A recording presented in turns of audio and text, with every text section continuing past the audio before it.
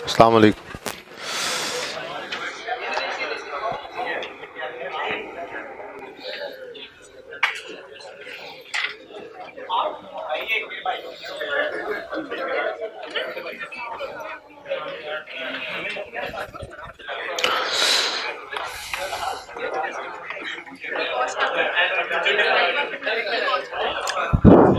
अस्सलाम वालेकुम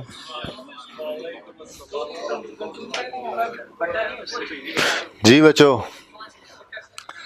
क्या हाल है? असेसमेंट कितने बच्चों ने दी हुई है? नहीं दी? कितने बच्चों ने नहीं दी और बैठे हुए हैं क्लास में? हाथ खड़ा करें जरा।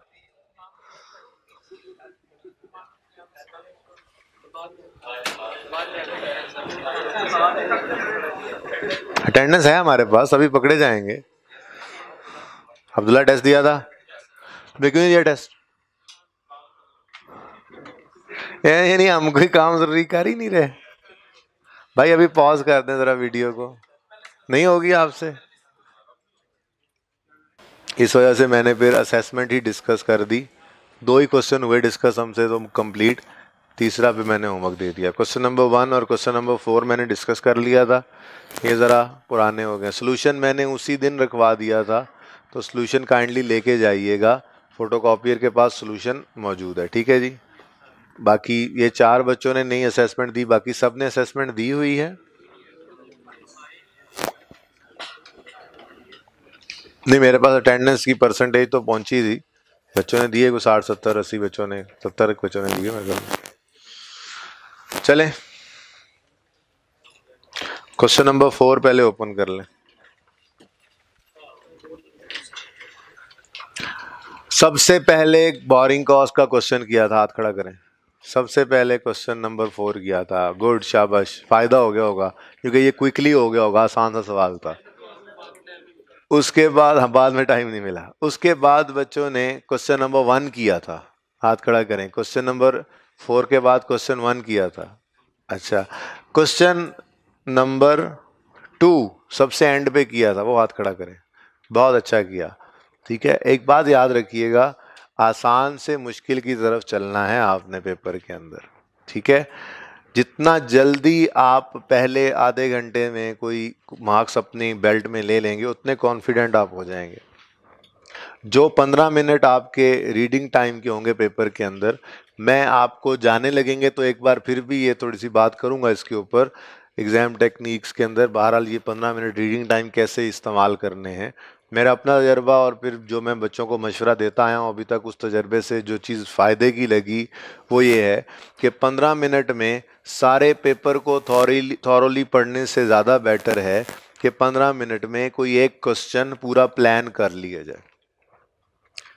पेपर सामने आते ही सबसे पहले रिक्वायरमेंट्स को गो थ्रू किया जाता है, ताकि आपके पास, आपकी हार्ड ड्राइव से उठ के चीज़ें आपकी रैम में सिर्फ़ वही आ जाएँ कि ये ये टॉपिक्स आए हुए हैं, बाकी हार्ड में ही पड़े रहें। उसके बाद रिक्वायरमेंट्स पड़े होने के बाद नेचुरली जो टॉपिक आपका ज़्यादा अच्छा था, वैसे तो अलहमदिल्ला आपके सारे टॉपिक्स ही अच्छे हैं, ठीक है? फिर भी नेचुरली जो टॉपिक आप ज़्यादा कंफर्टेबल फील करते हैं, आप उसकी तरफ़ जाते हैं सबसे पहले। मेरा मशवरा ये होगा कि आप सबसे पहले आसान वाला सवाल। तो एक एक वो कहते हैं ना, एक ओवरव्यू बर्ड्स आई व्यू है जी? एक ओवरव्यू लेकर आपने सिर्फ़ ये जो है ना, नज़र घुमा के देखना है उस पेपर के ऊपर से।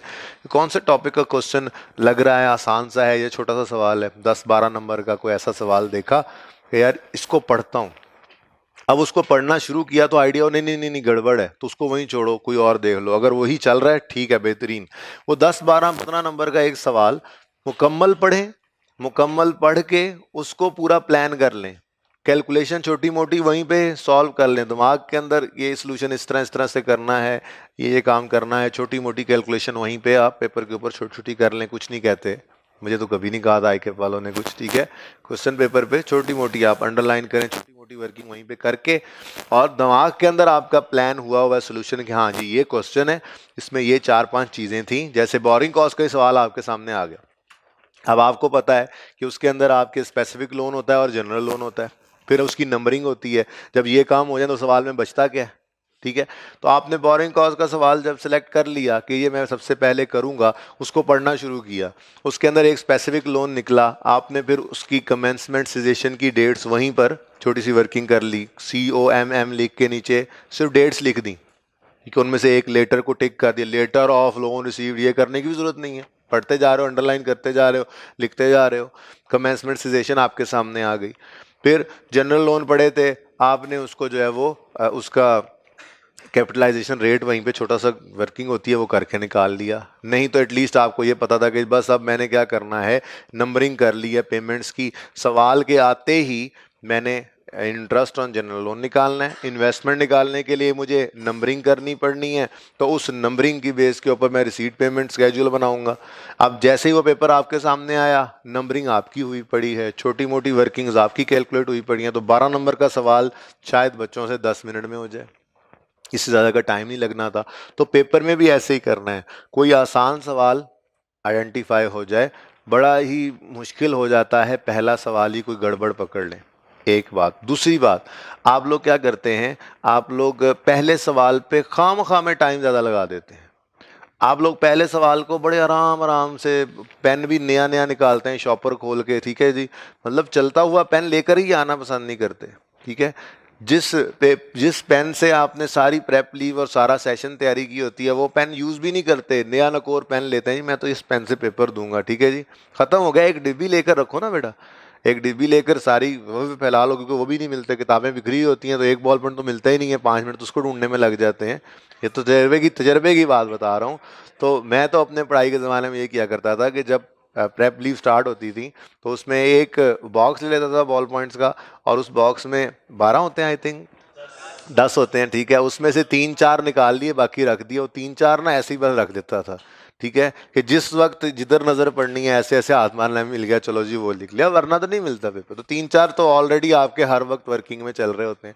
फिर जब प्रेप लीव ख़त्म होने के करीब आती हैं तो दो एक बॉल पॉइंट्स उस डिब्बी में से फिर निकाल लेने चाहिए, जिनको सिर्फ़ इस मकसद के लिए यूज़ किया जाए कि ये चलना शुरू हो जाए, ठीक है? और पेपर में चलते हुए बॉल पॉइंट्स जिससे आपने हमेशा लिखा है। ये नहीं कि आपने ट्रेनिंग और तलवार से की और जंग में नई तलवार आपको पकड़ा दी जाए, फिर आपने कर ली जंग। ठीक है? आपका बॉल पॉइंट भी चेंज नहीं होना चाहिए और फिर पहले सवाल से ही स्पीड आपकी वही होनी चाहिए जो आखिर तक मेंटेन रहे। मसला बताए क्या होता है? आप लोग पंद्रह, बीस नंबर पंद्रह नंबर का सवाल आपने पकड़ लिया। अब पंद्रह नंबर का सवाल करने के लिए कितना टाइम शायद कुछ छब्बीस तेईस मिनट चाहिए होते हैं, ठीक है? अब जो आपने वो सवाल शुरू किया, बना बना के करना और लिखते लिखते जब सवाल ख़त्म किया, घड़ी पे उस वक्त नज़र पहुँची। कितना टाइम जी?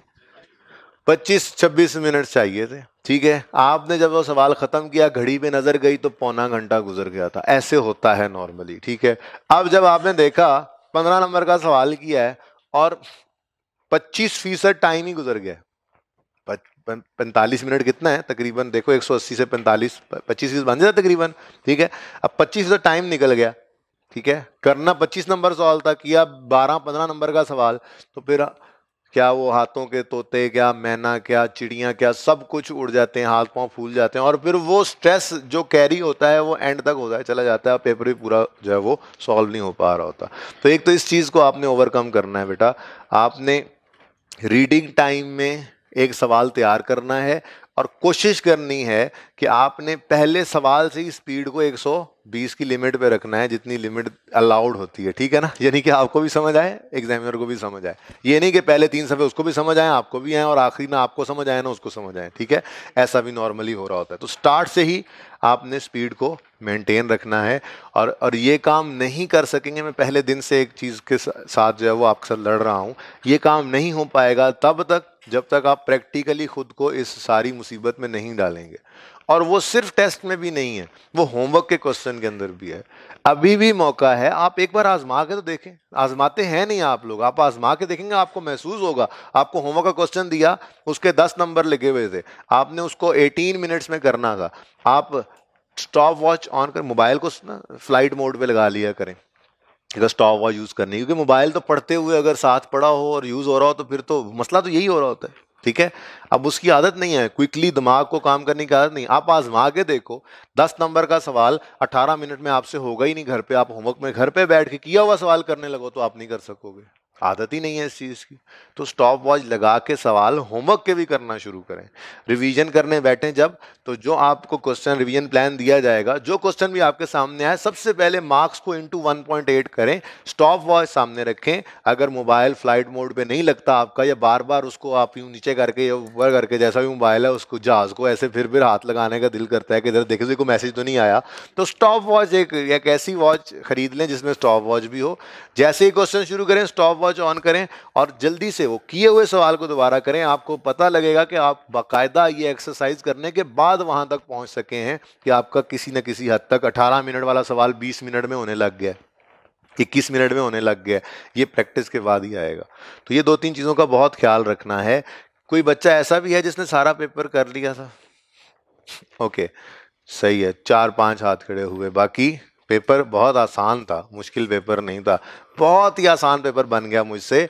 जल्दी में बनाया था ना मैंने तो ज़्यादा आसान बन गया, ठीक है? ऐसा हुआ, ऐसा नहीं होता, पेपर होता ही ऐसा है। पेपर होता ही बैलेंस्ड है, ठीक है? हर सवाल के अंदर आसान नंबर भी होते हैं, सवाल एक आधा मुश्किल भी होता है। आपका सिंगल एंट्री का क्वेश्चन थोड़ा सा मुश्किल था, लेकिन उसकी कंपनसेशन थी आपके पास। बोरिंग कॉस्ट का पेपर सवाल और पहला मैन्युफैक्चरिंग अकाउंट का सवाल भी। गवर्नमेंट ग्रांट का एक बैलेंस्ड क्वेश्चन था, छोटा करना पड़ा वो सवाल मुझे। ओरिजिनली तो वो कोई आठ से दस नंबर का मैंने बना लिया था सवाल, लेकिन फिर वो मुझे एक रिक्वायरमेंट गायब करनी पड़ी उसमें से, क्योंकि मैंने कहा था कॉलेज वालों को मुझे साठ नंबर का पेपर बनाने में ज़रा और स्पाइसी हो जाएगा। लेकिन उन्होंने कहा, नहीं, हमारे पास विंडोज़ एलोकेटेड है तो टाइम इतना ही है जितना आपको गिवन है। तो फिर मैंने वो सवाल थोड़ा सा छांट कांट करके कम कर दिया था। और वो सवाल इजी था लेकिन बैलेंस था ठीक है वो सवाल हो जाने वाला था। तो 22 नंबर टफ थे 20 नंबर आई थिंक थे। कितने नंबर थे इसके? क्वेश्चन नंबर टू के। ये ये ये थोड़े टफ थे। पासिंग मार्क्स तो इसमें से भी आप लोग ने सिक्योर कर लेने हैं लेकिन ए, एक टफ क्वेश्चन कहा जा सकता है इस, था इसको ठीक है? बोरिंग कॉस्ट वाला आसान सवाल था बिल्कुल। मैन्युफैक्चरिंग अकाउंट वाला भी आसान ही था बल टू क्वेश्चन नंबर वन और क्वेश्चन नंबर थ्री ये एवरेज क्वेश्चंस थे। क्वेश्चन फोर मेरे हिसाब से आसान था और क्वेश्चन टू थोड़ा सा टफ था। आई कैप का पेपर इसी अप्रोच के ऊपर होता है। आपको एक आधा सवाल मतलब 25 टू 30 मार्क्स बहुत मुश्किल मिलते हैं। 25 टू 30 मार्क्स जो हैं वो एवरेज मिलते हैं और 25 टू 30 मार्क्स जो हैं वो आपको आसान भी उसके अंदर मिला करते हैं। और जो दस एक नंबर है, उनका फिर कुछ नहीं पता होता वो क्या, वो बहुत ही मुश्किल आ जाए तो पेपर मुश्किल बन जाता है, ठीक है? तो बैलेंस्ड पेपर होता है, सारे सवालों में से आधे आधे नंबर लेने वाला पास हो जाता है। और ये मैं अपनी बात नहीं कर रहा बेटा, मैं आपको मैं आपको कई बार ये बात बच्चों को कोट कर चुका हूँ कि आई के साथ मीटिंग्स के अंदर ये बातें सामने आती हैं, वो लोग कहते हैं कि बच्चे को ये बात समझ क्यों नहीं आ रही कि वो हर सवाल आधा सही कर लेंगे तो पास हो जाएँगे। जहाँ पे सवाल शुरू करते हैं, बस फंस जाते हैं, वहीं पे बैठे रहते हैं दुम्बे की तरह टकरे मारते रहते हैं, पता नहीं क्या करते रहते हैं, ठीक है? हर सवाल आधा सही करने का मतलब है कि आपके ओवरऑल भी 50 परसेंट से ऊपर मार्क्स आ जाएँगे, ठीक है? तो आपने क्वेश्चन को जब टाइम एलोकेट करना है तो अगर उसका गिवन टाइम 20 मिनट है बहुत भी ज़्यादा हद है। अगर आप 22, 23, 24 पे पहुँच गए हो 25 पे पहुँच गए हो फिर जान छोड़ दो उस सवाल की। नहीं हो रहा वो तो किसी एक पॉइंट पे फंसे हुए कोई एक एडजस्टमेंट समझ नहीं आ रही। ठीक है बस आगे चलो। उसमें करने के बाद दो नंबर मिल जाएँगे। और अगर उस पर दस पंद्रह मिनट नहीं लगाओगे अगले सवाल में जाओगे तो उस दस पंद्रह मिनट के अंदर आपके ईजी मार्क्स अगले सवाल के अंदर वो सिक्योर हो जाएँगे। अब ये सारी बातें टेस्ट देने वालों को समझ आती हैं और इन चीज़ों को अप्लाई करने वालों को। तो अब अब आपने घर पे जो होमवर्क का सवाल भी करना, वैसे तो मैं पहले दिन से ही कह रहा हूँ, लेकिन उस होमवर्क के क्वेश्चन को भी आपने हर क्वेश्चन के मार्क्स को इंटू वन पॉइंट एट करके स्टॉप वॉच लगा कर ही करना है। प्रेप लीव पे जो आपको रिवीजन प्लान दूँगा, वही क्वेश्चंस होंगे मोस्टली कोई इक्का दुक्का क्वेश्चंस उसमें ऐड किए जाते हैं, कोई नए क्वेश्चन में ऐड नहीं करता। है जो कम्प्रीहेंसिव रिवीजन प्लान होता है, उसको आपने जब उस तरतीब से करना है तो भी हर सवाल को मार्क्स के साथ मल्टीप्लाई करना है 1.8 को, और टाइम के अंदर करने की कोशिश करनी है। अगर आई कैप में भी पास होना चाहते हैं तो। ठीक है जी? ओके क्वेश्चन नंबर फोर पे आ जाए। सोल्यूशन मैंने वैसे मंडे को ही रख, उस दिन फ्राइडे को सैटरडे को ही रखवा दिया था, पाँच बजे। आप लोग लेना चाहें तो सोल्यूशन ले लीजिएगा। क्वेश्चन नंबर टू असेसमेंट का आपका होमवर्क है।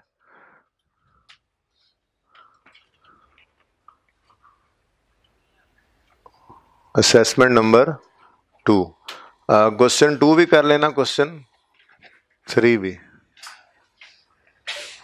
फोर और वन मैं आपके साथ अभी डिस्कस कर रहा हूँ, ठीक है? क्वेश्चन वन की रिक्वायरमेंट क्या थी जी? Calculate the amount of borrowing cost to be capitalize Ali, आपने टेस्ट दिया था असेसमेंट क्यों बेटा? अच्छा। अच्छा जी। वो नहीं अब वो टाइम गुजर गया अब सजा देने का कोई फ़ायदा नहीं अब ये टाइम पास करने वाले लोग हैं नहीं टेस्ट देते जो। टाइम पास करेंगे अगली बार फिर दे लेंगे टेस्ट बस ठीक है अब इनको समझ ना आए तो क्या कर सकते हैं जी? Okay okay. जो मेरे दिल में दर्द होता है तुम लोगों के टेस्ट देने की वजह से कभी उसके बारे में सोचा है? हाँ, तो, तो, उसी वजह से हो रहा था तुम्हारे दिल में दर्द। जी रिक्वायरमेंट है calculate the borrowing cost to be capitalized to the cost price of tunnel in ये पता नहीं इन वैसे ही पड़ गया। फॉर द ईयर एंडेड इकतीस दिसंबर 2016 ठीक है? तो इधर करके वर्किंग किया करते थे, जब बोरिंग कॉस्ट का टॉपिक किया था हमने, यहाँ पे हम लिखा करते थे borrowing cost to be capitalized ji?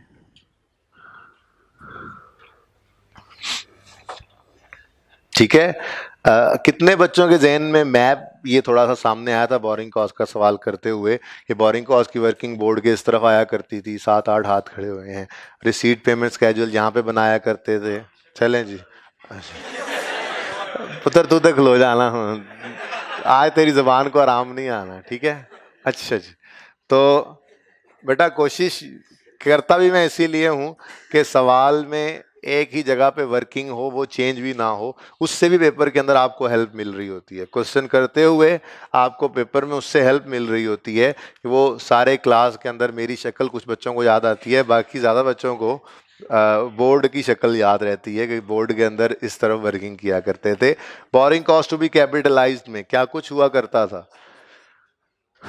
Loan processing charges और फिर interest expense on specific loans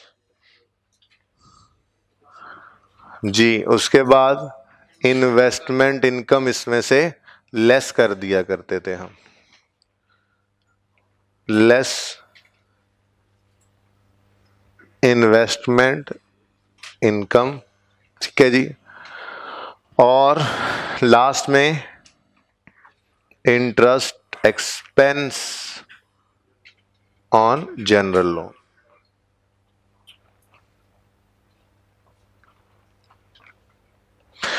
अच्छा स्पेसिफिक लोन के इंटरेस्ट के लिए हम कैपिटलाइजेशन की कमेंसमेंट और सिजेशन की डेट निकाला करते थे और जनरल लोन की इंटरेस्ट के एक्सपेंस कैलकुलेट करने के लिए हम पेमेंट की डेट से चला करते थे सिजेशन या ईयर एंड जो चीज़ पहले आ जाती थी। अगर तीन चार नंबर मेरे पास और अवेलेबल होते तो मैं इसमें इक्विटी को भी डालता। लेकिन फिर सवाल, फिर पेपर थोड़ा सा आउट हो जाता बैलेंस से। थोड़ा ये सवाल भी टफ की तरफ़ चला जाता। लेकिन मेरे ख्याल में इक्विटी भी आपको याद है। और प्रैक्टिस में जितने क्वेश्चंस दिए थे, बच्चों ने सारे कर लिए थे, जब मैंने रिवीजन के क्वेश्चंस दिए थे, हाथ खड़ा करें। बस दो, चार, पाँच। जो क्वेश्चंस मैंने दिए थे, आधे उनमें से हो गए थे। जो मैंने रिवीजन ये असेसमेंट से पहले जो क्वेश्चंस दिए थे, कि ये छह टॉपिक्स हैं, इनके इतने क्वेश्चंस कर लीजिएगा, कितने बच्चे थे, आधे सवाल हो गए थे। कितने बच्चों ने एक भी सवाल नहीं किया था। ओके, चलें। अच्छा जी। Borrowing cost to be capitalize कभी यही रिक्वायरमेंट होती थी, कभी वर्किंग बन जाती थी, जब वो कॉस्ट ऑफ़ एसिड मांगा करता था। तो आज हमारे सवाल की रिक्वायरमेंट है borrowing cost to be capitalized okay, एक थाउजेंड्स में कर लें सवाल? रुपीज़ इन थाउजेंड्स कर लेंगे इसको।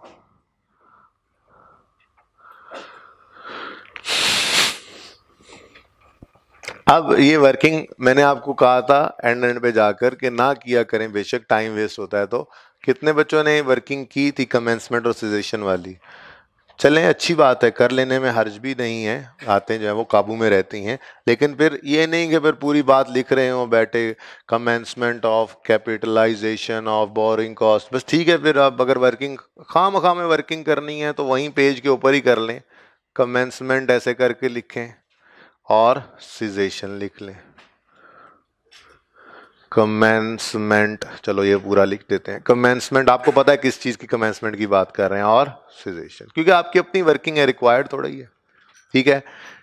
इसमें मैं भूल गया हूँ। अर्लियर ऑफ़ आया करता था। अच्छा लेटर ऑफ़ अब ये लेटर ऑफ़ भी याद है तो लिखने की ज़रूरत नहीं है। बहरहाल चलें क्विकली अगर लिख सकें तो कोई नहीं। आधे को मिनट में ये वर्किंग अंग्रेज़ी लिखना चाहें तो। उसमें आप फिर क्या लिखें? Loan received work started first payment काफ़ी है, आपको समझ आ रही है ये क्या लिखा हुआ है? काफ़ी है क्विकली क्विकली या सिजेशन जो होती थी वो कहाँ पर? वर्क कंप्लीटेड पर. और अगर ईयर एंड पहले आ जाता था तो फिर? ईयर एंड भी हो सकता था, हमारा सजेशन हम कर देते थे. हमारा सवाल में वर्क कंप्लीटेड की बजाय ईयर एंड ने आना था, उसकी वजह क्या थी? उसकी वजह थी दो साल में ये टनल जाके बननी है और हमारे साल में शुरू हुई है तो अगला पूरा साल भी रहना था इसने, ठीक है? तो सजेशन तो होनी रही थी ईयर एंड पहले आ गया था, ठीक है? ओके चलें ये पढ़ते हैं आप सवाल। Kundu Khan corporation decided to construct a tunnel that will link two side of a village that was separated by natural disaster years ago realizing its role as a good corporate citizen K P C B के सही KBC, BKC has been in this village for a couple of years exploring oil and gas in the nearby offshore area. The tunnel would take two years to build. Underline करें, two years to build. इस बात ने हमें बताया था कि ये एक क्वालिफाइंग एसेट है ठीक है क्योंकि हमें याद होगा हमने ये ये ये पढ़ा था कि क्वालिफाइंग एसेट वो एसेट होता है which takes a substantial period of time for its completion और सब्सटैंशियल पीरियड ऑफ़ टाइम को स्टैंडर्ड ने नहीं जो है वो क्वांटिफाई किया था तो हमने फिर उसके लिए यही रखा था डिसाइड करके कि दो से तीन महीने। सब्सटेंशियल पीरियड टाइम किसको कहा करेंगे? दो तीन माह के अरसे को हम सब्सटेंशियल कह रहे थे तो ये तो फिर दो साल का अरसा है। ठीक है? और सही है? और क्वालिफाइंग एसेट वो एसेट होता था कि अगर उसके, उसको बनाने के लिए कोई लोन लिया है तो उस लोन पे पे होने वाला जो इंटरेस्ट होता था, हम उसको उस एसिड की कॉस्ट का पार्ट बनाया करते थे, ठीक है?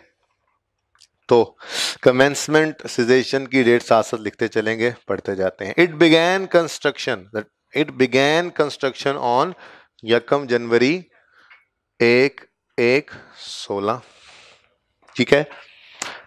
The following payments were made during 2016 ये सिर्फ़ 2016 की पेमेंट्स है। अंडरलाइन कर लें ड्यूरिंग 2016 ये सारी पेमेंट ड्यूरिंग 2016 है ओके जी फ़र्स्ट पेमेंट की डेट क्या है?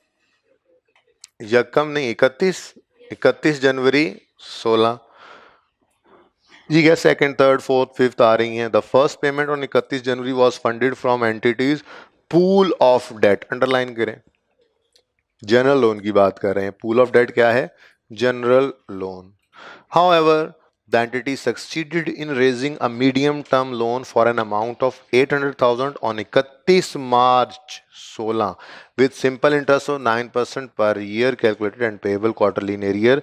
These funds were specifically used for this यानी ये आठ लाख वाला लोन कौन सा है स्पेसिफिक लोन है तो किस दिन ये लोन रिसीव हुआ है इकतीस मार्च 2016 तो लेटर कौन सी डेट हो गई चलो, ये तो डिसाइड हो गया। ठीक है, अगली बात सिजेशन भी कर ही लेते हैं अब बात। दो साल में जाके टनल ने बनना है, यकम जनवरी 16 को काम स्टार्ट हुआ है तो ये 31 दिसंबर 17 तक चलता रहेगा। तो 31 दिसंबर 17 तो की रिक्वायरमेंट नहीं है, इसलिए मैंने कहा वर्क कंप्लीट तक नहीं जाएगा। हमारा सवाल तो सिर्फ़ ईयर एंड के अरसे को कवर करेगा, यानी कि कितने महीने की बोरिंग कॉस्ट कैपिटलाइज करनी है? नाइन मंथ्स लग रहे हैं मुझे तो। इकतीस मार्च तो भाई मार्च गया ना तो पहले तीन महीने तो चले गए तो अप्रैल से लेके दिसंबर इकतीस तक नौ महीने बनते हैं, ओके? सही है? और सही है? अच्छा इकतीस मार्च को एक लोन मिला है with simple interest of nine percent per year calculated and payable quarterly in arrears ji quarterly का मतलब क्या होता है? तीन महीने बाद, यानी कि इंटरेस्ट इस लोन पे हर तीन महीने बाद पे किया जाता है। तो सवाल ने कहीं ये नहीं बताया था कि तीस क्वार्टर के आखिरी दिन, तीसरे महीने के आखिरी दिन या फिर क्वार्टर के अगले पहले, दिन के सुबह सुबह देते हैं। तो कोई मसला नहीं, कोई एक कदमशन ले सकते थे। बहरहाल, ये बात इस तरह से है कि 31 मार्च को लोन आया है तो अप्रैल 31 मार्च मतलब यकम अप्रैल ही होता है ना? ठीक है? अप्रैल, मई और जून, इन तीन महीनों का इंटरेस्ट या तो 30 जून की शाम को पे होगा, ये कम जुलाई की सुबह को। सवाल चुप है तो आसान वाला केस ही रख लो 30 जून की शाम को रिज्यूम कर लो। बाकी दोनों ही सही हैं, कोई फ़र्क नहीं पड़ता उससे ओके सही है ना? इस सवाल पे कोई असर नहीं पड़ता। आ, अगर कुछ और तरह से सवाल होता तो शायद आखिरी पेमेंट की वजह से तो फिर वो क्लियर भी करता। बहरहाल सवाल चुप है तो उसने कहा कि क्वार्टरली कैलकुलेट और पे होना है तो फिर नॉर्मल एजम्पन यही है। ये नॉर्मल एजम्पन यही है कि मार्च ये अप्रैल मई और जून इन तीन महीनों का इंटरेस्ट फिर 30 जून की शाम को पे कर देंगे। ठीक है? तो अप्रैल मई जून का इंटरेस्ट कब पे होगा? 30 जून पे। फिर जुलाई अगस्त सितंबर का 30 सितंबर को, फिर अक्टूबर, नवंबर, दिसंबर का 31 दिसंबर को, फिर जनवरी, फरवरी, मार्च का 31 मार्च को एंड सो ऑन ठीक है? जहन में आती है ये बात? चले। अच्छा जी। आई कहता है तो ये सिक्स परसेंट ये इंटरेस्ट ऑफ़ नाइन परसेंट को अंडरलाइन करके रख लो। ये पेमेंट्स हो रही हैं। हमें नज़र आ रहा है, तीन पेमेंट्स होती नज़र आ रही हैं हमारे साल में। एक इकतीस तीस जून को, एक तीस सितंबर को, एक इकतीस दिसंबर को। जहन में रखना नंबरिंग करते हुए। नंबरिंग करते हुए जहन में रखना, ठीक है? ओके आ गया। हाँ। These funds were specifically used for this construction अच्छा जी। Excess funds were temporarily invested at six percent per year जी, ये इन्वेस्टमेंट इनकम निकालने के लिए रेट गिवन है हमें, ठीक है? जो रिसीट पेमेंट स्केड्यूल से बैलेंस निकलेगा, उसको हम टेम्परेली इन्वेस्ट करेंगे okay the construction project was temporarily halted halted underline कर लें. हॉल्टेड का मतलब सस्पेंशन है स्टॉप ठीक है ना? सस्पेंशन सस्पेंशन आ गई जी सवाल में, ठीक है? आ गई सस्पेंशन अब सस्पेंशन याद हो तो दो तरह की होती थी, ठीक है? रूटीन और अगर तो सस्पेंशन रूटीन है। मिसाल दी थी आपको, जब पहली बार हमने सस्पेंशन का कॉन्सेप्ट पढ़ा था, ठीक है जी? तो एक सवाल को ही कंटिन्यू किया था कि अज्यूम यही करो क्वेश्चन यही कंटिन्यू करो और उसमें सस्पेंशन डाली थी, याद है? रूटीन सस्पेंशन का मतलब ये है, मैंने आपको मिसाल दी थी कि जैसे हमने सीमेंट के जो है वो बुनियाद डाल दी है, अब उसने खुश्क होना है तो ऊपर कंस्ट्रक्शन जारी हो सकती है तो दस दिन बहरहाल काम को सस्पेंड रखना, ये उस कंस्ट्रक्शन के प्रोसेस का पार्ट है। तो ये क्या है? रूटीन कंस्ट्रक्शन साथ वाले को जगा दो। टेस्ट दिया था आपने? ये वाला सवाल किया था? सबसे पहले ये किया था? सही हो गया था? पता लग जाएगा अभी, ठीक है? सोल्यूशन लेके जाइएगा ओके क्वेश्चन हो जाएगा आपसे दूसरा भी, इंशाल्लाह। क्वेश्चन करके आइएगा। हल्की फुल्की डिस्कशन बस होगी। दोनों की कल हो सकी तो ठीक है, वरना एक की कल और एक की परसों कर लेंगे, क्योंकि हमने रेवेन्यू आज फिर बिल्कुल करना नहीं है तो कल फिर रेवेन्यू पे ज़्यादा टाइम देना पड़ेगा हमें, ठीक है? आज का दिन बारिश की नज़र हो गया है। पहली क्लास में बहुत कम अटेंडेंस थी ओके जी। रूटीन है तो क्या करेंगे? जी इग्नोर कर देंगे। रूटीन सस्पेंशन को हम क्या करते हैं? इग्नोर कर देते हैं। यानी कि हम सस्पेंशन को लिफ्ट ही नहीं कराते। जैसे चल रहा है, सवाल चल रहा है। इग्नोर कर देते थे सस्पेंशन को। कहीं से कुछ भी माइनस नहीं करते थे। और अगर सस्पेंशन होती थी नॉन रूटीन तो फिर हम उसे क्या करते थे? कंसिडर करते थे। और कंसिडर कैसे करते थे? कंसिडर करते थे कि जहाँ जहाँ वो सस्पेंशन वाले मंथ्स आ रहे होते थे, हम उसमें से उनको इंटरेस्ट एक्सपेंस में से माइनस करते थे इन्वेस्टमेंट इनकम में से भी माइनस कर देते थे इसको, ठीक है? अब पता लगेगा, सवाल बताएगा, वो कह के कौन सी सस्पेंशन है? जी the construction project was temporarily halted for six weeks in May June शुक्र है, फिर ये कोई शुक्र है कि ये रूटीन ही थी, वरना तो ये आपको परेशान करता मामला सारा कि ये सिक्स वीक्स को कैसे हम करें। तीन वीक्स बनाएँ तो फिर उसका क्या करें, वगैरह वगैरह। लेकिन उसने कहा, तीन वीक्स वैसे मतलब ये कि दो महीनों में सिक्स वीक्स का मतलब है कि डेढ़ महीना। डेढ़ महीना काम सस्पेंड रहा, लेकिन वो क्या कह रहा है when the construction project was temporarily halted for six weeks in May June when substantial when substantial technical and administrative work was carried out अब यहाँ तक बात हुई तो फिर भी परेशानी थी, लेकिन आगे क्लियरली लिखा हुआ है which was necessary stoppage for the completion of construction work ये नेसेसरी पार्ट था कंस्ट्रक्शन वर्क का। तो अंडरलाइन करें।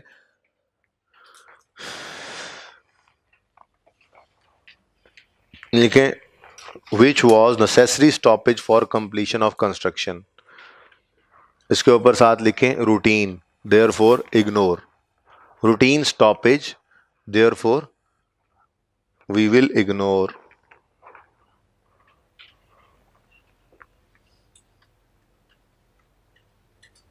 कितने बच्चों ने इसे इग्नोर ही किया था? कितनों ने इसको माइनस कर दिया था? माशाल्लाह, कैसे कर लिया आपने ये? कैसे कर लेते हैं यार ये? हैं? पाँच मिनट में सारा क्वेश्चन किया था, सही से पढ़ा ही नहीं था। तो सही से पढ़ा नहीं था तो जो काम कम करना था, वो भी ज़्यादा कर दिया। ओहो। जी, ये गलती तो नहीं करने वाली थी, भी तो याद रहना चाहिए। और जी, और। और हाँ क्या हुआ था, आपको क्या हुआ था? वो बस माइनस कर दिया था, ठीक है? ऐसे ही मैंने आपको जब पढ़ाया था तो ये नोट्स के अंदर लिखा था तो नोट्स भी ओपन करके देख लेने चाहिए ना, एक बार जब पेपर में जा रहे होते हैं। एक नज़र इसको देखा हुआ था तो मारना पड़ती। बहरहाल सुने। ऐसा काम जो कंस्ट्रक्शन का ज़रूरी जुज्व है, सुन लें। ऐसा काम जो कंस्ट्रक्शन का इंटेग्रल पार्ट है, जिसके बगैर कंस्ट्रक्शन कंप्लीट नहीं हो सकती, उस काम के लिए अगर सस्पेंशन आएगी तो उसको, क्योंकि वो कंस्ट्रक्शन का पार्ट है, यूँ समझो ना कि कंस्ट्रक्शन हो ही रही है उस दौरान भी। वो कंस्ट्रक्शन रुकी तो नहीं है, समझो वो रोकना ज़रूरी था ना कंस्ट्रक्शन के लिए तो फिर वो तो कंस्ट्रक्शन का पार्ट ही हुआ। इसलिए उसको क्या करते थे? इग्नोर और जो नॉन रूटीन हो, जैसे उन्होंने कहा जी, मजदूरों ने हड़ताल कर दी। अब क्या बिल्डिंग को कंप्लीट करने के लिए मजदूरों की हड़ताल करवाना ज़रूरी है? नहीं। जी, वो ट्रांसपोर्टरों ने हड़ताल कर दी। जी, पाकिस्तान में देखो बिल्डिंग हड़ताल वगैरह बन ही नहीं सकती है तो ज़रूरी इंटेग्रल पार्ट है, ऐसा नहीं है, ठीक है? वो क्या है? वो नॉन रूटीन स्टॉपेजेस है, यानी वो कंस्ट्रक्शन का पार्ट नहीं है। ठीक है?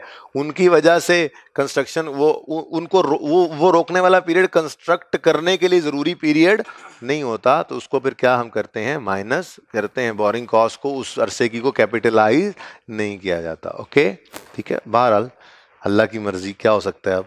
जो होना सी हो गया।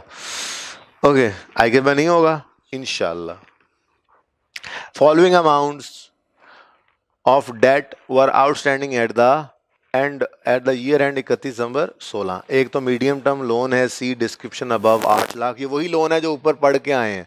ऐसा सवाल एक मिलता जुलता हमने क्लास के अंदर किया था पास पेपर का। तो मैंने आपको नीचे वाले टेबल के अंदर स्पेसिफिक लोन दोबारा जो लिखा हुआ था, उसको कटवा दिया था। मैंने कहा था, ये ना हो, आप डबल डबल कंसिडर कर लो, इसको या कंफ्यूज हो तो बेशक पेपर में भी आप इसको काट देते ये वही लोन है जो ऊपर स्पेसिफिक बताया गया तो जनरल लोन नीचे दो दो अलग अलग गिवन है। बैंक ओवरड्राफ्ट और एक ten percent seven year general loan given था ठीक है जी? अब सवाल शुरू करते हैं। नंबरिंग की ज़रूरत चलें, जब पड़ेगी तो तब कर लेते हैं। सवाल शुरू करते हैं। सबसे पहले interest on loan processing charges तो आए कोई नहीं, कहीं पे नज़र। इंटरेस्ट ऑन स्पेसिफिक लोन लेना है, ठीक है? कितना है लोन आठ लाख का। Interest rate nine percent into into nine by twelve nine months ठीक है? पूरे साल में कोई रीपेमेंट नहीं है। होती तो ज़्यादा मज़े का सवाल बनता, लेकिन नहीं रखी, क्योंकि मैंने आपको कहा था कि ये सवाल थोड़ा सा नॉर्मलाइज करने के लिए था। मैन्युफैक्चरिंग अकाउंट का सवाल थोड़ा सा टाइम ज़्यादा ले गया, क्योंकि वो बनाया इस तरह से गया था। थोड़ा सा आप परेशान हो देख कर हालाँकि उसके पल्ले था कुछ नहीं। तो चौदह में से दस एक नंबर उस सवाल में ही बनते थे हर बच्चे के। बहरहाल, कुछ उसमें थोड़ा सा परेशान हुए, फिर कुछ जो है वो सिंगल एंट्री वाले सवाल ने थोड़ा सा घुमा दिया पकड़ के। तो इसलिए बोरिंग कॉस्ट का सवाल नॉर्मलाइज करने के लिए था एवरेज करना होता है पेपर को आई के बी ऐसे कर रहा होता है अपने पेपर को, ठीक है?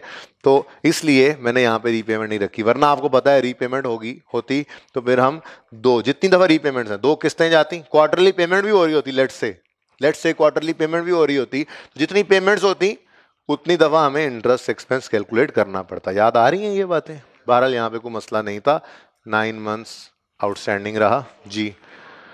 फिफ्टी फोर इनर कॉलम में लिखा, क्योंकि अभी इन्वेस्टमेंट इनकम इसमें से माइनस कर लेंगे। अब जो इन्वेस्टमेंट इनकम की तरफ़ गए तो हमें जहन में आया अच्छा हमें तो क्या चाहिए? रीपेमेंट स्केजुअल चाहिए। सॉरी रिसीट पेमेंट स्केजुअल याद है जी रिसीट पेमेंट स्केजुअल थोड़ा बहुत। इसमें हम क्या कुछ लिखा करते थे? डेट डेस्क्रिप्शन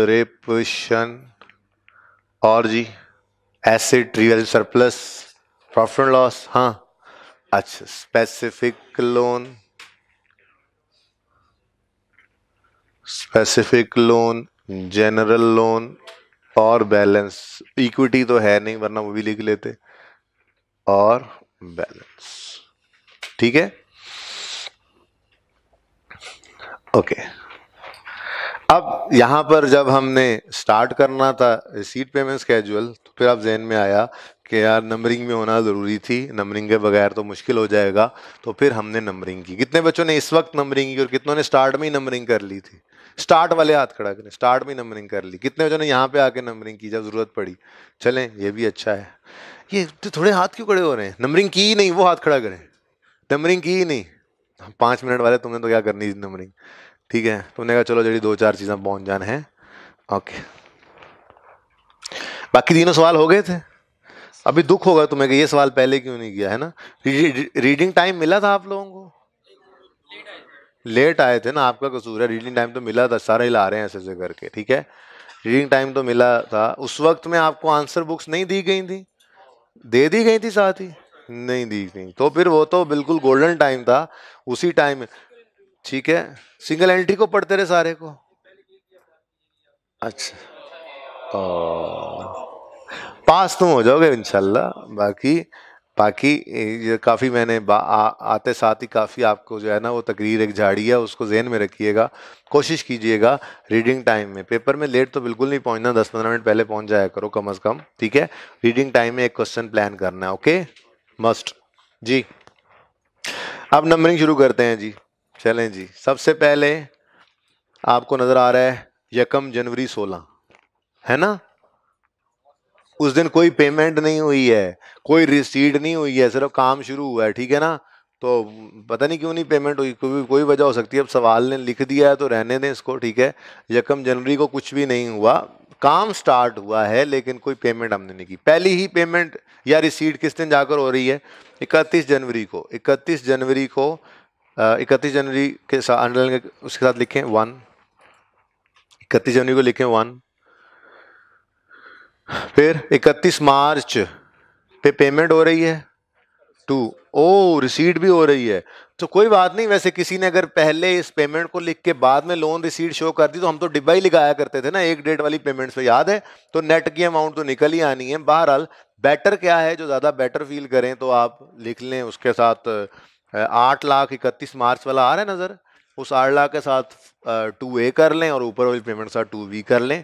लेकिन अगर किसी ने इसके अलावा भी कर लिया तो वो भी बिल्कुल ठीक है, क्योंकि हमने एक डेट वाली पेमेंट्स के ऊपर एक डिब्बा लगाना होता था, याद है? और नेट की अमाउंट निकल आती थी। तो आप 800 सौ माइनस साढ़े चार सौ लिखो तो भी साढ़े तीन सौ आएगा। माइनस साढ़े चार सौ जमा आठ सौ लिखो, तब भी साढ़े तीन सौ आएगा। बहरहाल, ये टू ए और टू बी हो गए ओके उसके बाद क्या है जी? तीस जून पर एक लाख की पेमेंट नज़र आ रही है कंस्ट्रक्शन की? बोलो तो अंडरलाइन उसको लिख लो थ्री बस एक यही है। क्या? दूसरा क्या? ओ हाँ। तो इंटरेस्ट एट नाइन परसेंट जहाँ पे अंडरलाइन करवाया था, उसके साथ करके लिखो। लेफ़्ट साइड पे जगह खाली है, काफ़ी जगह खाली है, दो तीन दफ़ा इसके साथ को नंबरिंग करनी पड़नी है हमें मैंने आपको बताया था, तीन दफ़ा इंटरेस्ट पे हो रहा है, ठीक है?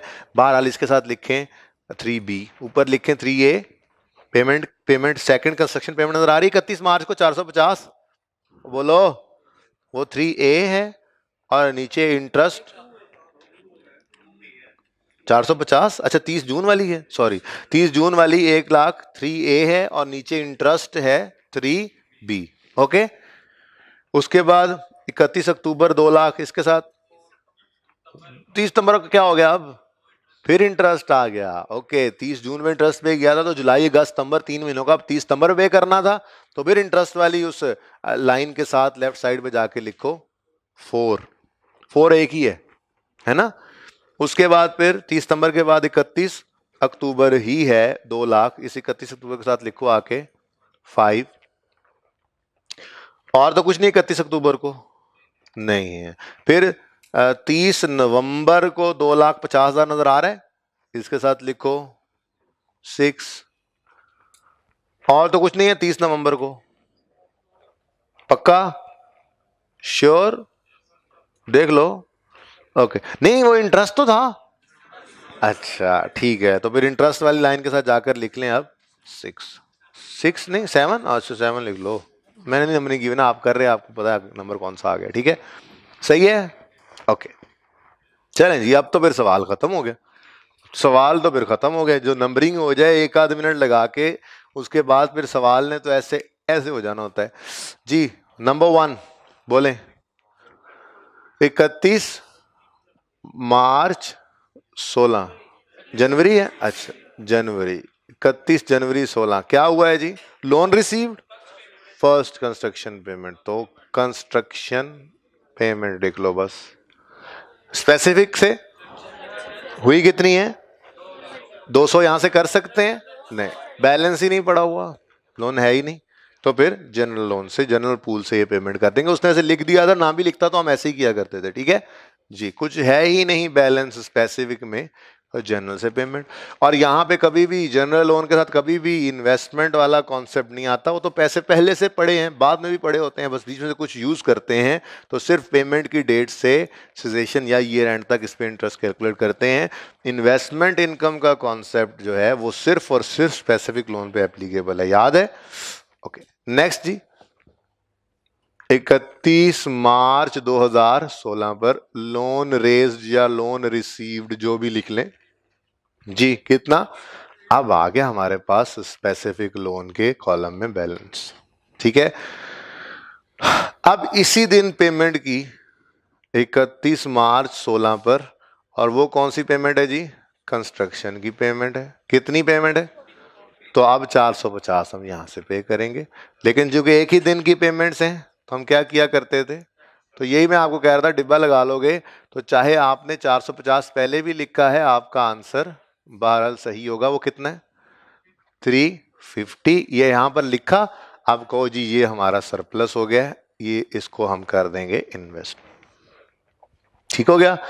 फिर उसके बाद नेक्स्ट नंबर किसके साथ लगा हुआ है? तीस जून पे, फिर दो हैं। चलो कोई बात नहीं, यहाँ पर आकर लिखा हमने तीस जून सोलह कंस्ट्रक्शन पेमेंट कितनी है? वन हंड्रेड इधर देखो बेटा, सब बच्चे इधर देखो। इस तीन सौ पचास को नहीं देखना। हालाँकि दोनों सेम है, लेकिन आदत आदत ही, ठीक है?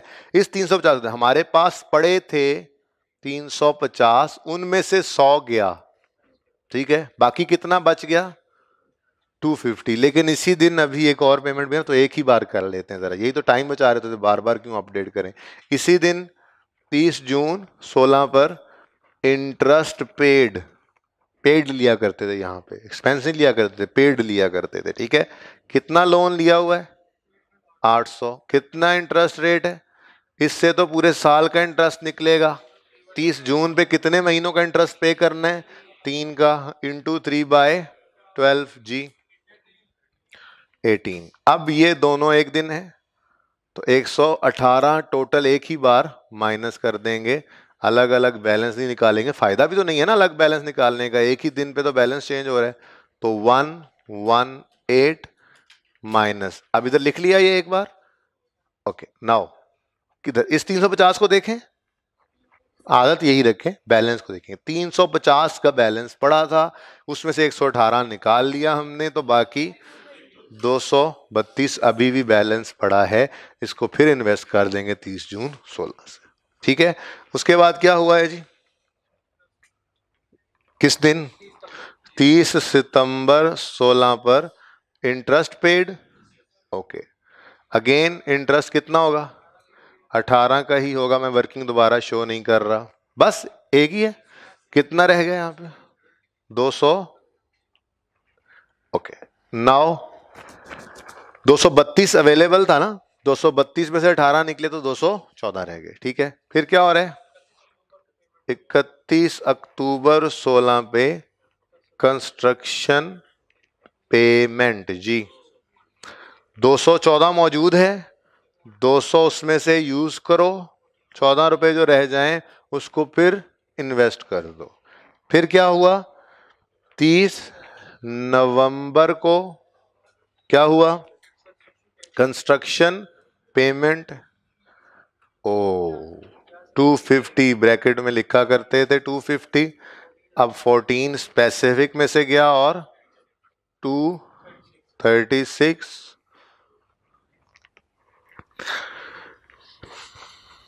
नेक्स्ट पेमेंट को हम इग्नोर कर सकते हैं।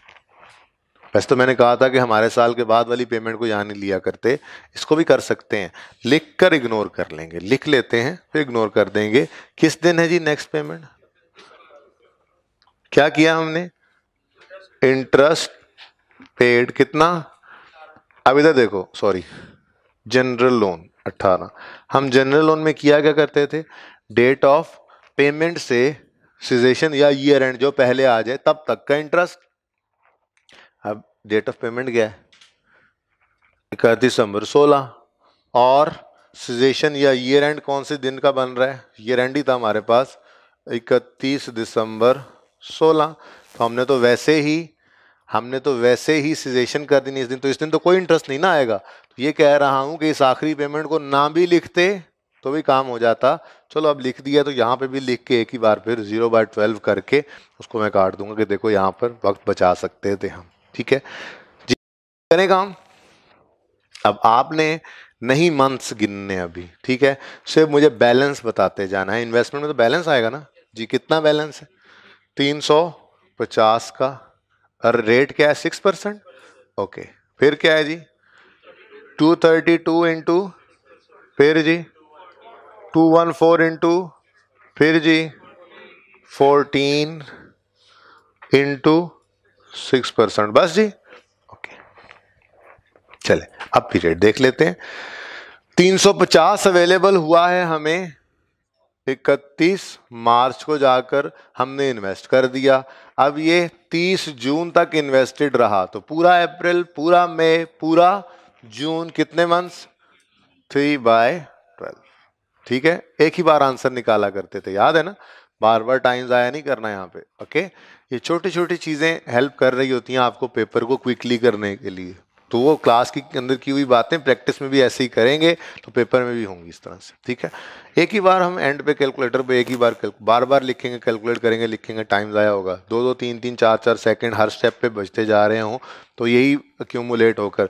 एक एक सेकंड कीमती होता है अभी पेपर के अंदर, ठीक है? जी, उसके बाद यहाँ पे कुछ पेमेंट हुई और 232 रह गया। ये 232 हमें किस दिन अवेलेबल हो गया था? 30 जून 16 पे अवेलेबल था और ये 30 सितंबर तक रहा तो जुलाई, अगस्त और पूरा सितंबर थ्री बाय ट्वेल्व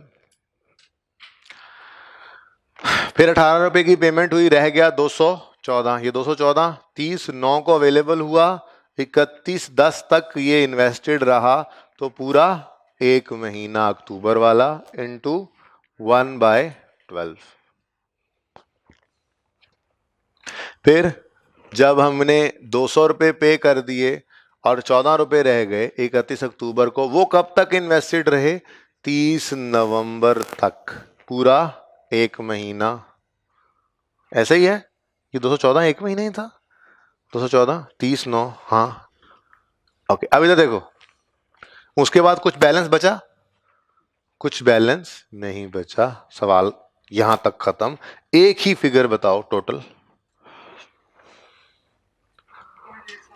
1.9 कर लो। 9.87 9.9 कर लो। 9.9 चेक कर लें जी सब। यही है। नेट बता दो। 44.1 ठीक है? अब जनरल लोन है तो जनरल लोन के कॉलम में आके हम सिर्फ़ पेमेंट्स को उठाया करते थे। याद आ रहा है कुछ कुछ चले। तो जल्दी से बताएँ। पहली पेमेंट 200 है और दूसरी पेमेंट 236 है और तीसरी पेमेंट चलो लिख लेते हैं, वैसे तो ये इग्नोर करना था। लेकिन कुछ गड़बड़ हो गई है। वो गड़बड़ ये है कि हमारे पास रेट अवेलेबल चलो रेट तो निकल ही आएगा। अगला काम तो कर लें। पीरियड तो लिख सकते हैं। क्या ख्याल है? लिख सकते हैं ना? जनरल लोन के केस में हम इंटरेस्ट लिया करते थे डेट ऑफ़ पेमेंट से सिजेशन या ईयर एंड का। तो डेट ऑफ़ पेमेंट 31 जनवरी है। बोलो। सिर्फ़ जनवरी का महीना नहीं है। और फिर फरवरी से लेके ईयर एंड तक सारे 11 महीने का इंटरेस्ट जनरल लोन पे आना है। 11 बाय 12 आ जाएगा अभी इंटरेस्ट रेट भी कैलकुलेट कर लेंगे, हमें करना आता है वो। अब जो बात चल रही थी, मैंने कहा वो तो पूरी कर ले। ठीक है? नेक्स्ट पेमेंट फिर जनरल लोन से दोबारा कब जाकर हुई? तीस, ग्यारह, सोलह। तो कितने महीने? डेट ऑफ़ पेमेंट से ईयर एंड तक बनते हैं? एक महीना बनता है इंटू वन बाय ट्वेल्व इसीलिए कहा 18 को क्या करेंगे? इग्नोर क्यों? डेट ऑफ़ पेमेंट क्या है? 31 दिसंबर 31 दिसंबर 16 और ईयर एंड क्या है? 31 दिसंबर 16 तो डेट ऑफ़ पेमेंट से ईयर एंड तक कितने मंथ्स बनते हैं? कोई मंथ नहीं बनता। ज़ीरो बाय ट्वेल्व तो इसलिए मैंने कहा था टाइम बचा लेना, इसको वैसे ही इग्नोर कर देना। ये बिल्कुल वैसा ही था जैसे हम कहा करते थे कि हमारे साल के बाद वाली पेमेंट को रिसीट पेमेंट स्केजुअल में इग्नोर कर दो। उसकी ज़रूरत नहीं होती। ये बिल्कुल वैसा ही था। ठीक है? किसी ने लिख दिया ज़ीरो बाय ट्वेल्व कर दिया तो कोई मसला नहीं, ठीक है? अब मसला क्या रह गया? मसला रह गया है, हमें रेट चाहिए और वर्किंग टू हम उसके लिए कर लिया करते थे फिर। जब ज़रूरत पड़ी तभी कैलकुलेट कर ली। क्या चीज़ कैलकुलेट करनी है जी हमने? Capitalization rate of general loans ठीक है? इसमें हम कहा करते थे जी लोन की टाइप क्या है ये बता दें, और लोन की अमाउंट क्या है ये भी बता दें, और कितने मंथ्स से आउटस्टैंडिंग है हमारे साल में मंथ्स आउटस्टैंडिंग बता दें, ताकि हम निकाल सकें लोन आउटस्टैंडिंग फिर हमें बता दें इंटरेस्ट रेट कितना है, ताकि हम निकाल सकें इंटरेस्ट एक्सपेंस ये किया करते थे? और बोलो, कुछ याद भी है कि भूल गए सब? तो आपको रिवीजन के लिए क्वेश्चंस दिए थे। वो क्वेश्चंस जिन बच्चों ने कर लिए होंगे, उनके लिए तो ये क्वेश्चन बिल्कुल अब उन्होंने लेफ़्ट हैंड से किया होगा राइट हैंड से एक और सवाल करते रहे होंगे लेफ़्ट हैंड से उन्होंने ये सवाल कर दिया होगा, मुझे पता है। ठीक है? तो जी लोन सबसे पहला लोन है यहाँ पर आठ लाख वाला। स्पेसिफिक है, वो अलग हो गया, ठीक है? तो पहला लोन है बैंक ओवरड्राफ्ट कौन सा है जी? Bank OD bank OD amount कितनी है इस बैंक ओडी की? बारह सौ। कितने मंथ से आउटस्टैंडिंग है? पढ़ के देखते हैं। कहता है बैंक ओडी बारह लाख का है। Bank OD the weighted average amount outstanding during the year was सात सौ पचास interest charge on by bank amounted to तैंतीस हज़ार आठ सौ। जी आ, कितने मंथ्स आउटस्टैंडिंग है? नहीं बताया। लोन आउटस्टैंडिंग है बता दिया। वो ही डायरेक्ट बताया हुआ था। फिर पढ़ लो अब पढ़ लो अब पढ़ लो। कुछ मुस्कुरा रहे हैं बच्चे अच्छा ये था। द वेटेड एवरेज अमाउंट ऐसे सवाल दो तीन किए हमने अपने जो टॉपिक तैयार करते हुए। और ज़्यादा वरी ना करें आपने देखा मैंने सवाल लिखे थे आपने वो तक तो रिवाइज नहीं किए।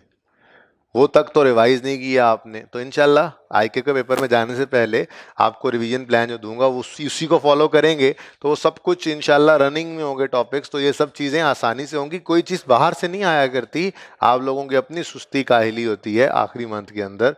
बड़े बड़े आइंस्टाइन फेल हो जाते हैं और बड़े बड़े मेरे जैसे एवरेज से बच्चे वो पास हो जाते हैं, ठीक है? तो आखिरी महीना भी उतना ही क्रिटिकल है जितना बैच पूरा रहा। बल्कि मैं तो यूँ कहा करता हूँ कि जो होना था वो हो चुका है।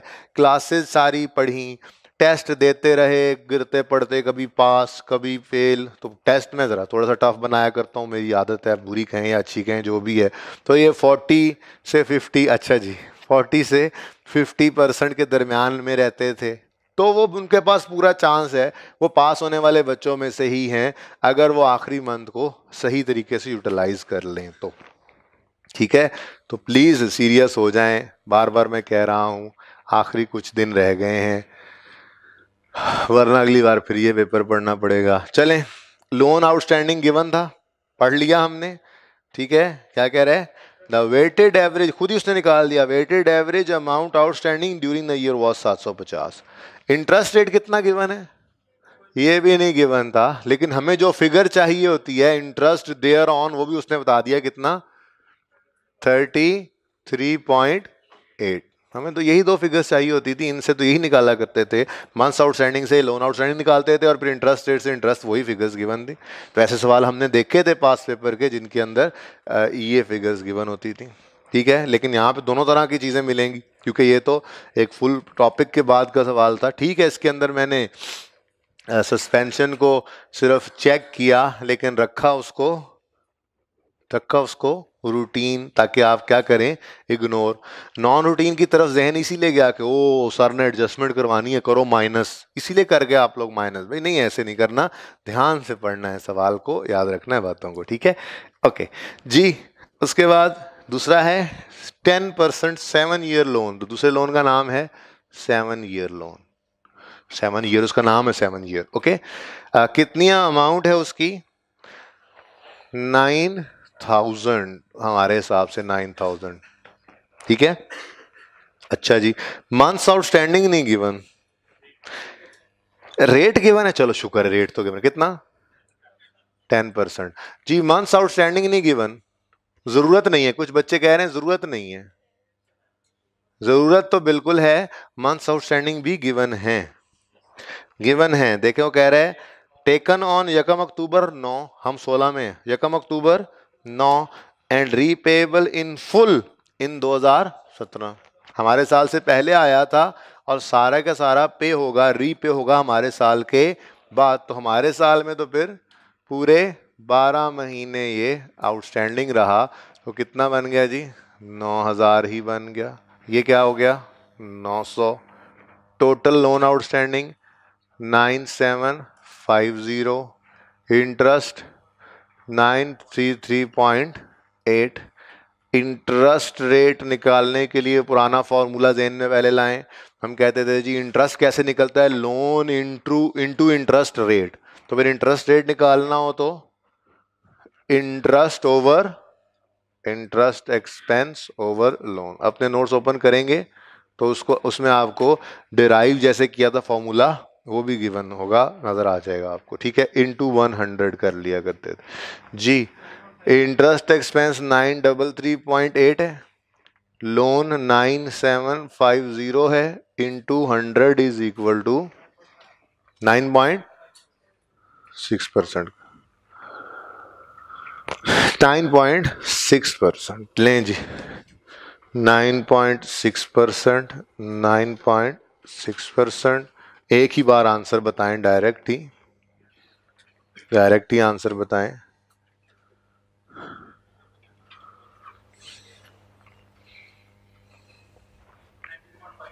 नाइनटीन पॉइंट फाइव, और ये टोटल हो गया।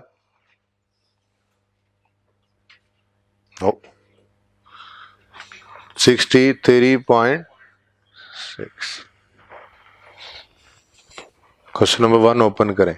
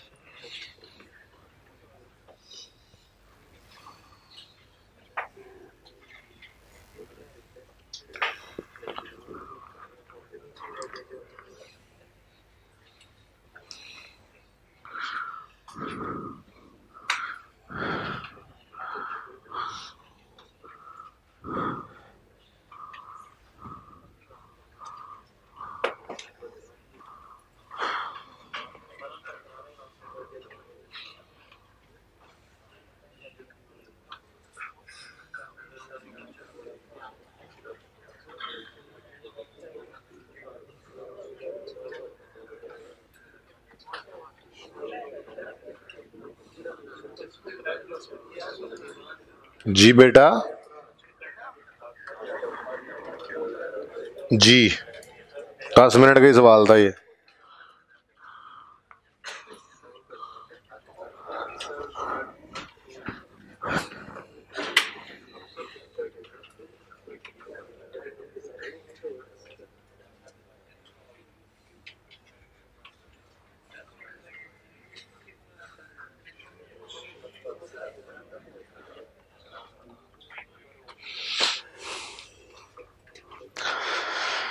Okay, question number 1 was also a very easy question.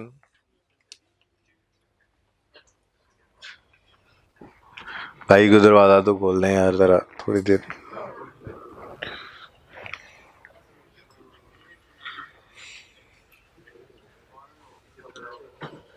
Rain is still coming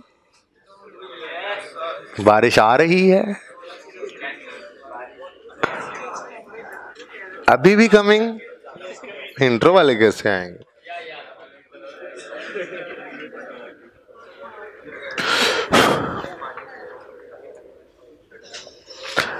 Following information relates to financial year ended 30 जून 18 of master Pakistan limited a tile manufacturer तीस जून 18 year end है और requirement है compute the value of closing compute the value of closing stock underline करें और लिख सकते हैं आप रेफर एन के एल उसकी रिक्वायरमेंट बिल्कुल वैसी ही थी।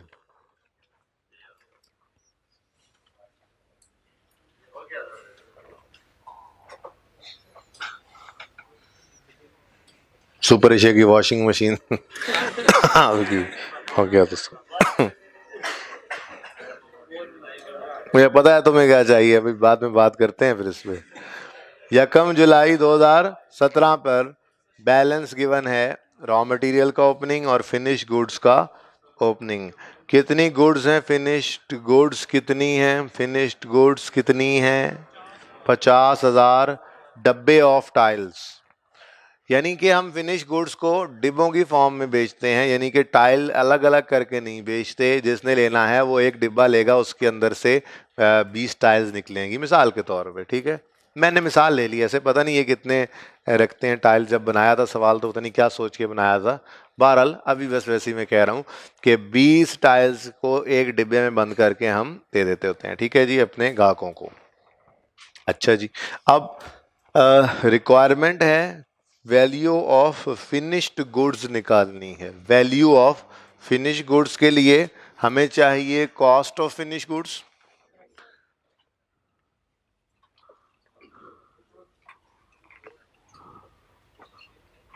cost of finish goods निकालनी है तो आपको इसकी यूनिट्स पता हो। पर यूनिट कॉस्ट पता हो तो आप टोटल अमाउंट निकाल सकते हैं। ठीक है जी? कॉस्ट ऑफ़ फिनिश गुड्स से ही काम नहीं चलेगा। हमें एन आर वी ऑफ़ बातें ना करो बेटा फिनिश गुड्स भी चाहिए होगी, तब हमारे पास रिक्वायरमेंट वैल्यू निकल सकेगी। चुप कर जो ना यार, क्या मसला है तुम दोनों को? क्या समझ नहीं आ रही बेटा? हाँ बोलो ना। अच्छा। ओके यकम रहने दो यार। यकम जुलाई सत्रह। रॉ मटेरियल ओपनिंग गिवन है। रॉ मटेरियल ओपनिंग तो आता था डायरेक्ट मटेरियल के अंदर। ओपनिंग स्टॉक रॉ मटेरियल कितना जी? वन ये ना यहाँ पे लिख रखा हुआ है, ठीक है? इसको बताते जाना कितने कितने नंबर हैं। यहाँ से कहानी शुरू हुई है। देखें जी पॉइंट फाइव मार्क्स इसके मिल गए आपको, ठीक है? यहाँ रख तो मैं खुद ही देखता रहूँगा, तुमने इसको देखने लग जाना है। सोल्यूशन देखो, ठीक है? जी पॉइंट फाइव मार्क्स इस ओपनिंग स्टॉक को लिखने के मिल गए, आगे बढ़ते हैं। फिनिश गुड्स का ओपनिंग फ़िलहाल यहाँ पे लिख लो, कितना है जी? अमाउंट गिवन है बारह हज़ार। देखते हैं ना फिर ये यूज़ होती है या नहीं, ठीक है? और यूनिट्स गिवन है पचास हज़ार। अच्छा हम ना थाउजेंड्स में चल रहे हैं। यहाँ पे अगर रुपीज़ इन थाउज़ेंड में सारा डाटा गिवन है तो वही लेकर चलना है ना। यहाँ पे भी बारह हज़ार। पाँच सौ, थाउज़ेंड में ही है। तो ये यूनिट्स भी थाउजेंड्स मैंने कर दिए ठीक है? और ठीक है यूनिट्स को मैंने थाउजेंड्स में, ये थाउजेंड्स में मैंने कर दिया ओके सही है? नहीं समझ आई ये बात? हाँ क्या? ओके, जी। ओके फिनिश गुड्स आगे cost incur during the year during the year कौन कौन सी कॉस्ट इनकर हुई हैं? पहली कॉस्ट का लिखा हुआ है related to raw material purchase during the year सबसे पहले गिवन है list price of raw material purchase बारह हज़ार दो सौ। कैश डिस्काउंट रिसीव्ड तीन हज़ार। हाँ जी कैश डिस्काउंट का क्या करेंगे? कैश डिस्काउंट की तो एंट्री होती है ना। एंट्री होती है, एंट्री होती है creditor debit, discount, received income, credit, raw material purchase की फिगर जो एक बार हमने खरीदी थी, हमने परचेज डेबिट, क्रेडिट क्रेडिट किया था, उस परचेज को इसने जाकर नहीं छेड़ा। इसलिए मैन्युफैक्चरिंग अकाउंट बनाते हुए हमने इस कैश डिस्काउंट को क्या करना है, सोया फ्राई में ये एडजस्टमेंट हमने देखी थी, ठीक है? नेक्स्ट क्या है? ट्रेड डिस्काउंट रिसीव्ड बाईस सौ, इसको भी क्या करना है? इग्नोर नहीं करना लेस करना है, ठीक है? क्योंकि ऊपर क्या गिवन है? ऊपर नेट अमाउंट नहीं गिवन लिस्ट प्राइस गिवन थी। तो लिस्ट प्राइस में से ट्रेड डिस्काउंट को माइनस करना था। तो यहाँ पर हमने प्लस करना होता है परचेज ऑफ़ रॉ मटेरियल ये मैं लिखने की कोशिश तो कर रहा हूँ कि ये मार्कर लिखे, पर ये तैयार ही नहीं हो रहा इस पर तो बारह हज़ार दो सौ माइनस बाईस सौ।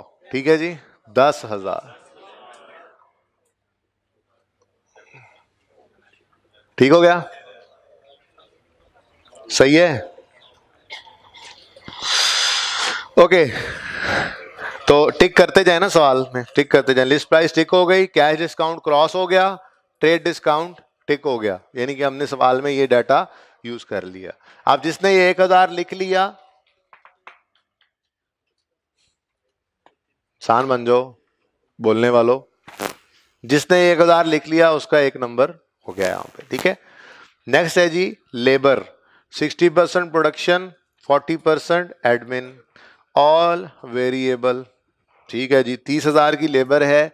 हमें हमें इस एडमिन वाली लेबर से कोई लेना देना नहीं है, ठीक है? हमें किससे सरोकार है?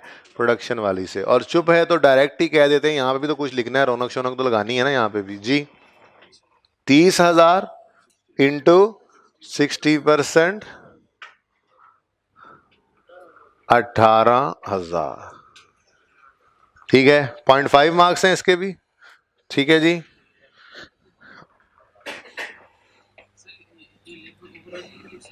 बेहतर नहीं है, क्योंकि मैं आपको कहा हुआ है प्रोडक्शन की लेबर जब तक वो खुद से ना कह दे कि इस किस्म की निशानी के मैनेजर है सुपरवाइजर है, आप डायरेक्ट लेबर में लिखो, क्योंकि डायरेक्ट लेबर तो होनी है ना। यहाँ पे कुछ है ही नहीं, फिर छोड़ने की ज़रूरत नहीं है इसको, ठीक है? इसको डायरेक्ट लेबर को अलग से। सवाल में कोई लेबर आ रही है एक ही, और वो नहीं क्लियर के डायरेक्ट है इनडायरेक्ट और ये खाना खाली पड़ा है तो उसको भर दो ना, ठीक है? मैन्युफैक्चरिंग करनी है तो डायरेक्ट लेबर तो होती है। प्रोडक्शन की लेबर ओके वेरिएबल ओवरहेड्स हैं sixty percent production forty percent admin कुछ थोड़ी सी गैरत खा लो। इसे को ब्लैक जैकेट वाले भाई को। अच्छा कब शब लगा रहे हैं?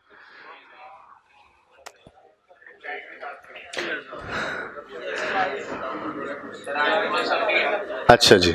जी वेरिएबल ओवरहेड्स वेरिएबल ओवरहेड्स कितने हैं जी? दस हज़ार इंटू सिक्सटी परसेंट छ हज़ार point five marks next depreciation को तो इग्नोर करेंगे. डेप्रीसिएशन इग्नोर नहीं करेंगे. प्लांट की डेप्रीसिएशन है. जी, मुझे भूल गया जी, असल में ना वो रेवेन्यू शुरू हो गया ना. बोले, दस हज़ार अस्सी फ़ीसद आठ हज़ार next fixed overheads thirty percent factory का है। Fixed overheads F H factory overhead नहीं फिक्स ओवर लिखा है यहाँ पे। दस हज़ार ही है ये भी। दस हज़ार इंटू जी। थाउज़ेंड थर्टी परसेंट के बारे में वो कह रहा है बीइंग मैनेजेरियल सैलरीज यहाँ तक बात होती, सुने।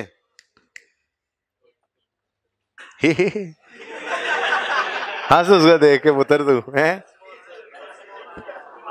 ओके, चुप।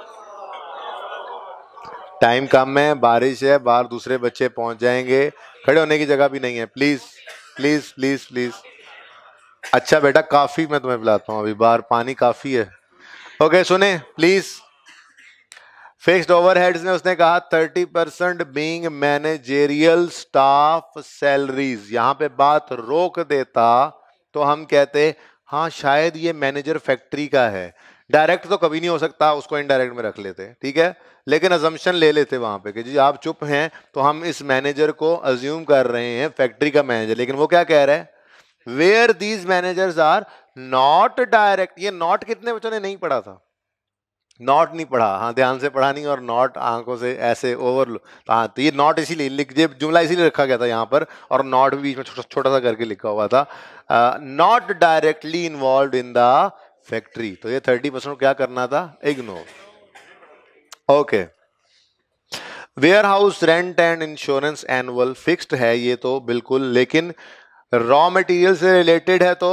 फैक्ट्री का फिनिश गुड से रिलेटेड है तो सेलिंग का, एडमिन का कभी नहीं, सेलिंग, एडमिन सेलिंग नहीं, सेलिंग का, ठीक है?